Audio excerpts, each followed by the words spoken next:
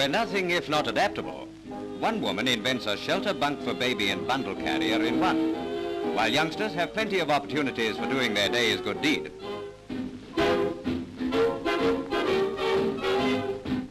The baby and bundles problem is solved in various ways. You must hand it to this mother, for instance, while the necessity for shaving at odd times and places gives a city man a bright idea. The price of gaspers is high, so it behoves us to invent for economy. One girl has found a way of enjoying fags to the last puff. No good following her for her dog ends. And when it comes to silk stockings, the best solution is borrow Brother Bill's golf hose and forget your ladder worries.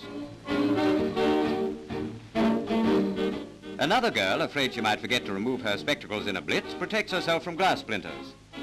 Lovers are having a rough time with the early blackout, so lunchtime courting is the thing now. She's due back at the office already.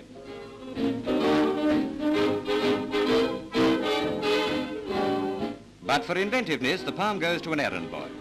Tin hats are scarce, but while there's a saucepan, size 6 and 5 eighths in Mother's cupboard, he feels as safe as uh, saucepans.